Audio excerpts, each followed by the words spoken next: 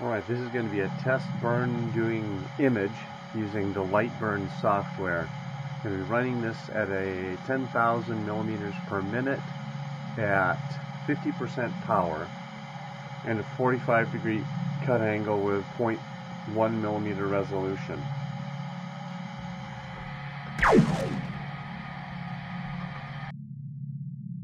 Alright, looking at that is just way too dark. It's burning right through that. So I'm going to lower the power to probably, what?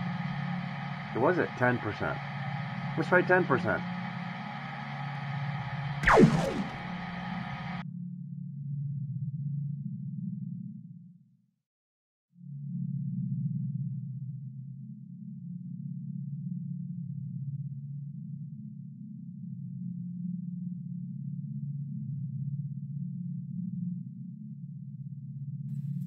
At this point it became obvious the burn wasn't going well. The black of the circle was way too dark, and inside the bottle was way too light. It was time to stop this.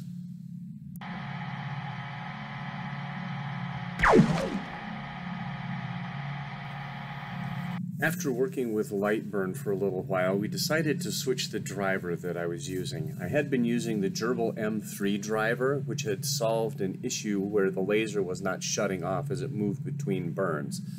They suggested I go back to just the GRBL driver and make a parameter setting change on my controller. So I set the $32 from 0 to 1. This being enabled lets the controller know that it's not a spindle spinning, but it actually is a laser, and it knows then to turn off at the appropriate times. This seems to have fixed some of the issues. The problem now is my feed rate and my power settings are all different than what I had before. So now it's time to come up with some new settings to see what works. I ended up using 2000 millimeters per minute at 40% power.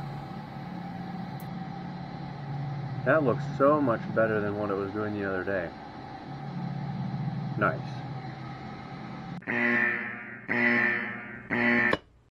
Oops. Hi, I'm AT from CNC at Home. If you like our content, help support our channel by clicking on subscribe and liking our videos.